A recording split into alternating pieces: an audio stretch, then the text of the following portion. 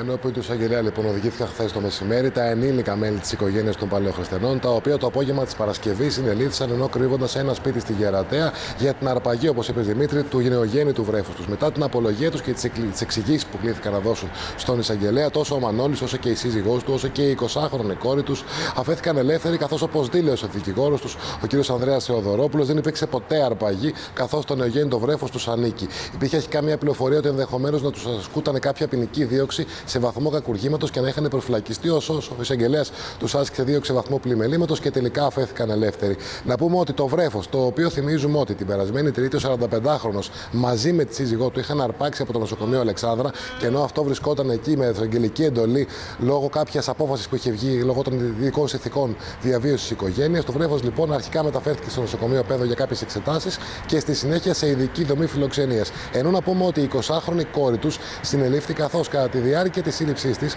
βρέθηκε να έχει μαζί της το ανήλικο τέκνο της για, για το οποίο μάλιστα της είχε αφαιρεθεί η επιμέλεια. Μάλιστα.